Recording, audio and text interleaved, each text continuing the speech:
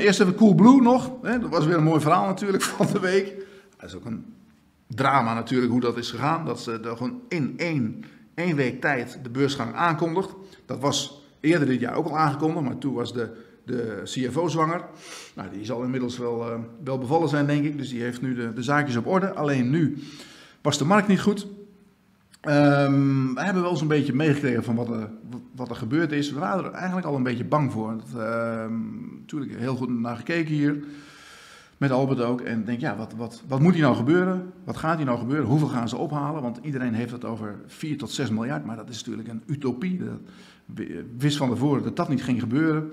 Uh, wij zaten meer te denken aan de price range van 2 jaar 4 miljard. En dan moet je eerder uh, denken aan de onderkant en aan de bovenkant. Is natuurlijk wel een beetje zo dat, dat, dat um, als Hal en ook Pieter Zwart, als die met een bedrag van 4 miljard in hun hoofd op pad gaan naar investeerders. wat ze altijd doen met zo'n IPO is dat de, de, banken gaan dat natuurlijk begeleiden, maar die gaan op een gegeven moment, maken ze bekend dat ze dat gaan doen en dan gaan ze op roadshow, gaan ze langs de grote investeerders en dan gaan ze hun verhaal pitchen. Dan moet Pieter Zwart daar vertellen uh, ja, wat de plannen zijn en, en wat hij gaat doen en, en uh, wat de toekomstverwachtingen zijn voor Coolblue. Um, en dan zeggen die investeerders, die zeggen wel een beetje van, nou, ik weet niet hoe, hoe jij bij die 4 miljard komt, maar wij komen uit op 2 miljard of op 1 miljard of op 6, weet ik veel. Uh, dus daar krijgen ze feedback en daar gaan ze mee aan de slag. Nou, uh, als het dan een beetje matcht, dan kunnen ze een beetje voelen van hoe groot de vraag is. En ik denk hier dat er, dat er, er zijn natuurlijk een aantal dingen ja, gebeurd in deze week. En dat was, daar is echt, echt heel erg veel pech gehad. Maar er kwamen twee of drie bedrijven die min of meer in dezelfde sector zitten. Die kwamen met een winstwaarschuwing en daar werd, echt zo agressief op gereageerd. Dat het echt het hele sentiment onder deze hele beursgang weggeslagen heeft.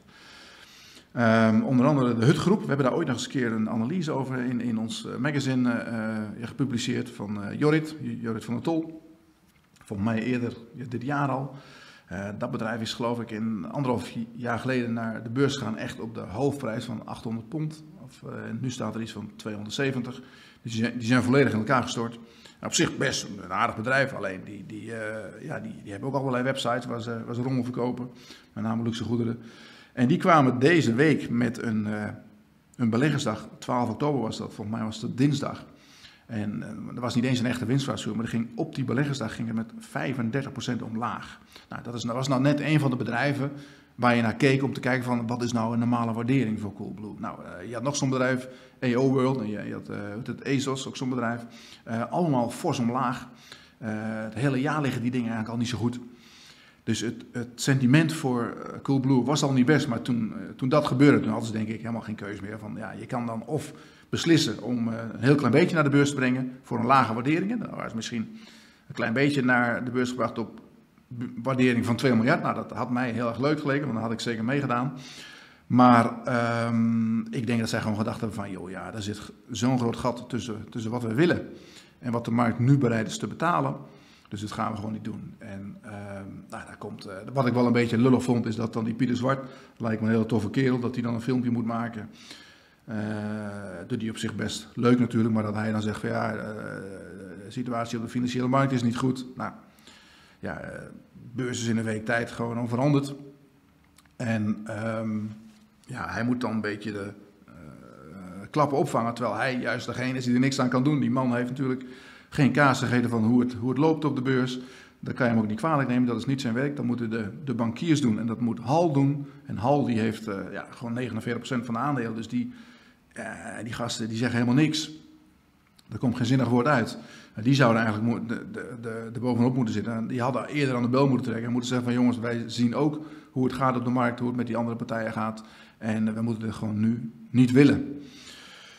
Uh, maar goed, Hal heeft het gewoon laten gebeuren en die staan nu een beetje in een hemd natuurlijk. Ik bedoel, in, in het, ja, de, de, de particuliere belegger zal er allemaal weinig kunnen schelen, maar in het wereldje, in het, de financiële wereld zijn zij natuurlijk een beetje de, de, de ja, hoe noem je dat? De risée van de week. En um, ja, die staan gewoon met, uh, met de broek op de enkels daar te koekeloeren. Maar goed, het gaat niet door, dat is jammer. En ze zullen nu wel, ik vermoed dat ze nu gewoon uh, ja, wel een paar jaar zullen wachten. Dat ze zelf de boel in Duitsland gaan uh, opstarten, want dat was een beetje het idee. En dan zullen we wel zien wanneer ze weer langskomen. Um, even kijken, Coolblue. Nou, daar kunnen we dus verder niks mee, dat is wel jammer. Je zag ook wel dat de, de, de koersreactie bij Ahold, omdat natuurlijk bol.com, Ahold zat hier ook een beetje naar te kijken, van ja, die hebben bol.com, weliswaar wat anders. Bol.com is meer een platform waar, waar mensen spullen kunnen verkopen. 60% van wat er verkocht wordt op bol.com is al van andere partijen dan bol.com. Dus dat is wel weer anders dan, dan een, een, een uh, ja, simpele retailer, zeg maar, die gewoon uh, elektronica verkoopt. En witgoed en wasgoed en noem maar op allemaal, bruingoed. Um, maar goed, de koers van Ahold die ging er ook een paar procent op omlaag. Denk ik wat onterecht. Wij hebben, um, ja, ik vind Ahold heeft het goed gedaan eigenlijk dit jaar. Hè. Sinds, uh, we hebben het ook in ons elftal wel eruit gegooid, maar daar hadden we wel heftige discussie over. en was eigenlijk min of meer, ja, we zochten wat ruimte voor een andere speler. Maar, en omdat het ook mooi opgelopen is. Maar met bol.com gaat het eigenlijk best goed. Um, er is een leuke website, bol.com heeft zelf een website. Dan moet je maar even kijken, dat heet Platform Monitor. En daar staan allemaal leuke dingetjes op van bol.com. En daar hebben ze ook wat, wat cijfertjes staan. Uh, niet zozeer over de omzet, maar wel over hoeveel uh, artikelen er verkocht worden en uh, waar heel veel op gezocht wordt. Hoeveel handelaren erop staan, hoeveel, hoeveel merchants en ze, ze verkopers. En ze, laten ook zien um, hoeveel van de omzet van, van derde partijen komt. Dus niet van, van bol.com zelf, maar ze willen steeds meer toe naar platform wat gedragen wordt door veel meer verkopers dan alleen bol.com. En dat, dat ja, groeit best wel rustig door. Niet zo hard natuurlijk als een jaar geleden, maar het groeit en het groeit. En uh, nou, dat gaat eigenlijk best wel goed. Nou,